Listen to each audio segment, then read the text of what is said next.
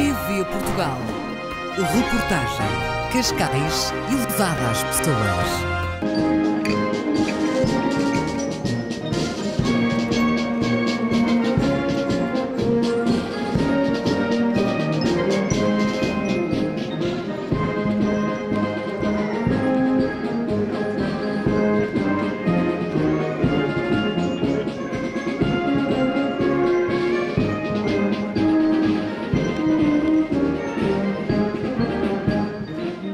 É para Cascais uma honra e um privilégio podermos estar aqui a celebrar,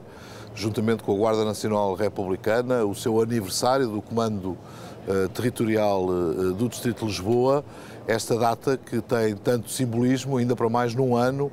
em que também nós estamos a comemorar os nossos 650 anos.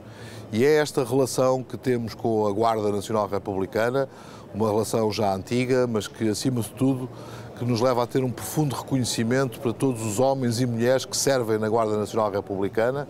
militares que têm dado ao Conselho de Cascais a possibilidade de sermos um Conselho seguro, um Conselho que tem, eh, de facto, níveis de segurança bastante elevados, graças ao esforço e à abnegação que estes homens e mulheres têm demonstrado com todo o seu profissionalismo. Por isso é esta relação entre eh, a Câmara Municipal de Cascais, a GNR e, de uma forma geral, todas as forças de segurança que têm garantido também que podemos eh, confiar eh,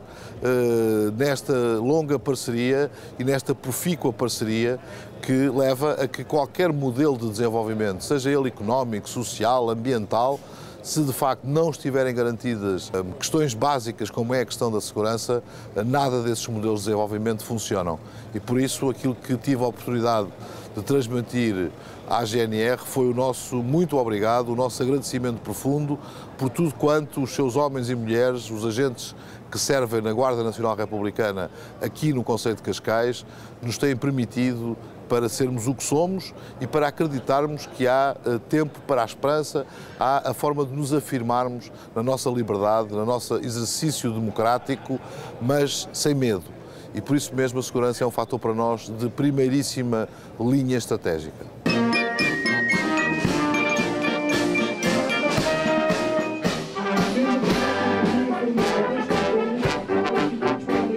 Aproxima-se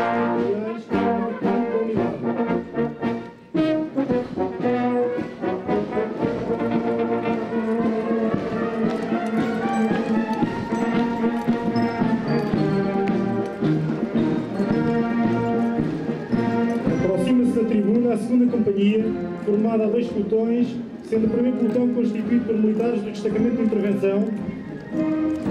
e o segundo pelotão constituído por militares das subunidades de trânsito. Esta reportagem contou com o apoio de